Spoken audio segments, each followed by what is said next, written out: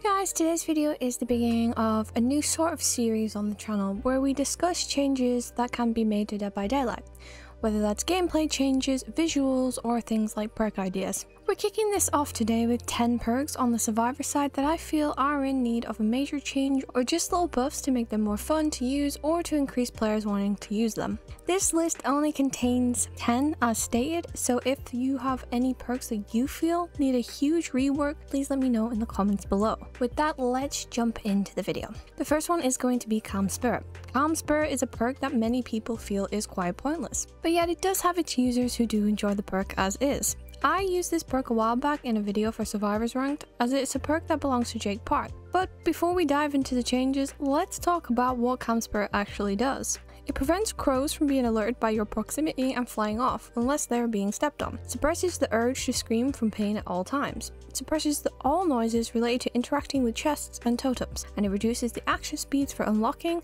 cleansing, and blessing by 30%.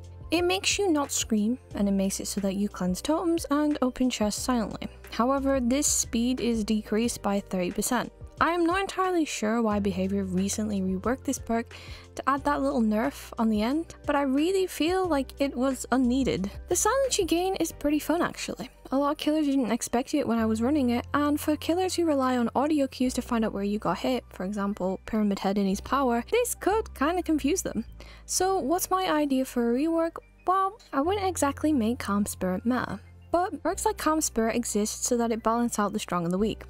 The first change I would love to make to Calm Spirit is removing that nerf towards cleansing and unlocking chests. The speed decrease was really unnecessary and I feel the ability to cleanse and unlock silently would be wonderful for players who enjoy stealth plays without the annoyance of cleansing a hex totem so much slower. The second idea for a reworked Calm Spirit would introduce silence for gens. As a killer or even a survivor if you pay close enough attention, there's different sounds when working on a gen. If someone isn't on a gen, there's the normal sound of the gen's current progression just rattling away. However, if you pay close attention nearby, when a survivor is on the gen, you can actually hear the sounds of the survivor repairing it. My idea is that Calm Spirit could incorporate that. You could still hear the gen's progress, but not the noises a survivor makes when repairing a gen. It would be a bit like Bite the Bullet, how there's no medkit taping sounds when you heal. Like I said before, this could be helpful for players who really want to play as stealthy as possible and not make any noise. It's a small idea, nothing insane or meta, just remove the repair gen sounds. Simple. The second perk I'd love to get a major rework is Buckle Up. I don't think I've actually seen anyone use this perk in my whole three years of playing this game, and I can see why. It's not exactly powerful, and sure, like I said before, not every perk has to be, but they at least have to be useful, and Buckle Up just really isn't that useful. So what exactly does the current Buckle Up do? It unlocks the potential in your aura reading ability. You can determine the recovery progress of dying survivors by the intensity of their aura at a distance of up to 48 meters away.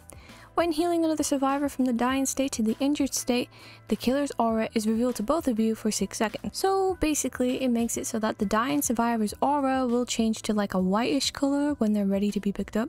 Okay, see what I mean by unhelpful? Or a bit regarding the killer is decent I guess, as you both can see it, however, you could just have another aura perk, or a perk that helps your teammates on and equipped rather than this. I don't know about you, I desperately want Buckle Up to be changed, so here's my idea for it. Let's take away the whole aura reading aspect of Buckle Up and instead let's make it a healing perk. Let's say whenever you pick someone up from the dying state, for 30 seconds you are given a 100% speed boost towards healing that person. Now I know what you might be thinking, that's a tad bit strong. But keep in mind, we are getting a huge update in the future that will allow survivors to pick themselves up from the dying state anyway. So why not have a perk that allows you to help your team if they are slugged?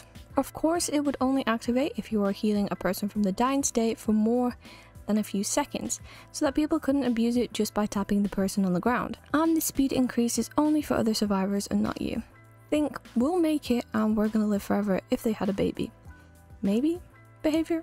Guardian is another perk I rarely see get used, and the aim of these ideas is to pick perks that have a very low usage rate and try to make them seem a bit more fun to use, so that people could incorporate them into their builds. Guardian is a general perk that once belonged to Steve Harrington as a teachable. So what does it do? When you unhook a survivor, the rescued survivor benefits from the following effects for up to 8 seconds. Scratch marks and pools of blood are suppressed. Additional 7% haste status boosting their movement speed. Guardian reveals the killer's aura to you for 8 seconds. Okay, not bad, but it's not too great either. It's a decent perk for helping out teammates, but what if the killer tunnels? They could wait out the base kit endurance and go after your teammate by just watching their movement. 8 seconds is not long enough time for a survivor to successfully escape a tunneling killer, especially if they have just taken that base kit hit. So what changes would I make? Well, first off, let's increase that time to 30 seconds. Secondly, let's get rid of that additional haste. The base haste is good enough, and if you run borrowed time, it would be even better. In its place, let's put that unhooked survivor's grunts of pain are also suppressed, and that you can see the killer's aura for say around maybe 5 to 10 seconds. So this perk would work like so. Once someone is unhooked, they leave no scratch marks, pools of blood, or make no noise for 30 seconds. This way, if the killer is tunneling, they can't hear their cries. The aura reading can stay, allowing you to maybe take a hit for the tunnel survivor or just take chase in general.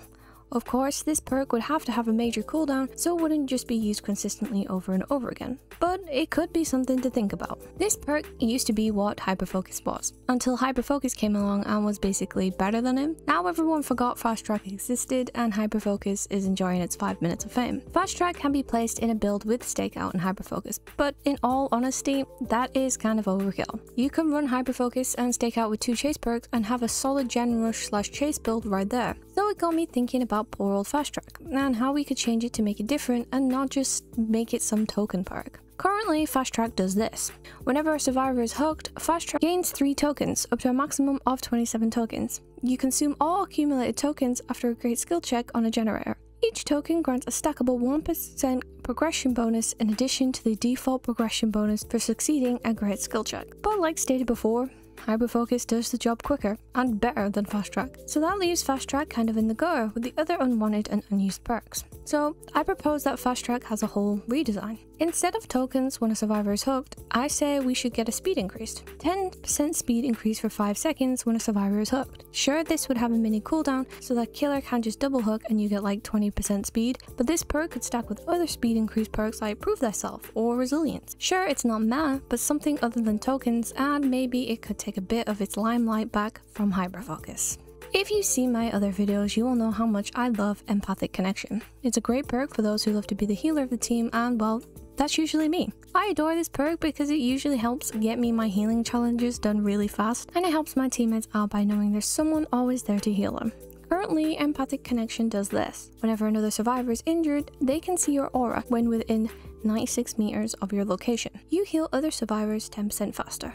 It's definitely not an insanely strong perk. It's nothing meh, but it's one that deserves more love and usage. So for this rework idea, it's something very small, but something that could really help out the other survivors and increase the usage of the perk maybe by a small amount. So my idea for the rework is pretty much keeping it the same, but instead of healing another survivor at 10% speed, I would up it to 20% just to make it more helpful. You didn't think I would forget to complain about No Mither, would you?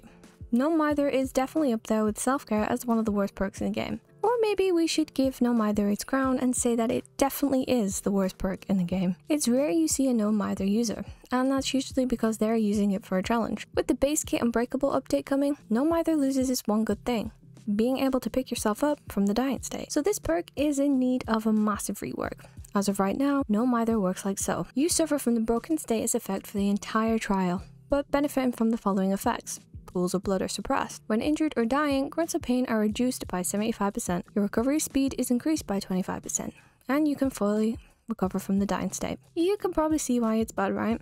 Sure, the recovery from the dying state is good, but like stating, that will be base soon. So following a good long thinking session, I felt that no Mither should be reworked just a little. Let's keep the pools of blood and reduce grunts of pain but remove the dying state recovery because it's no longer needed, and the increased recovery speed. Both of those are gone.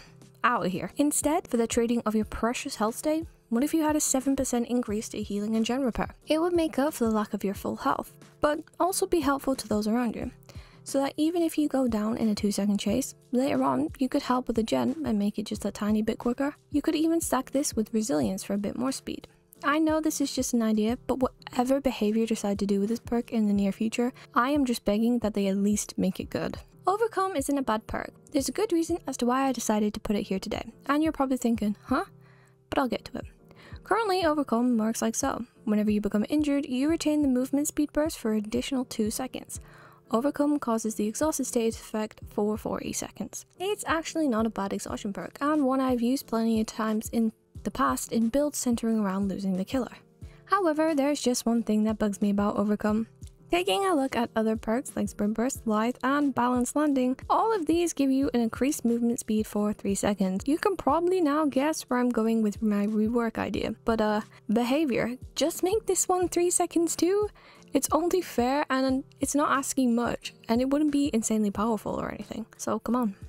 Buff it, you know you want to. Another Yunjin perk on my list, and this one is one you can probably agree with me about. It's pretty darn bad, and I really wish it was changed to be something just a bit stronger. It's another one that I have rarely seen used, and now that I'm thinking about it, I actually think I have never seen someone using this perk. Wow, self-preservation works like this. When another survivor is hit with a basic attack or a special attack within 16 meters of you, self-preservation activates. Scratch marks, grunts of pain when injured and bleeding are suppressed for the next 10 seconds. As you can see, it's kinda bad. It's definitely not one I'd use and definitely one that really needs a good old reworking.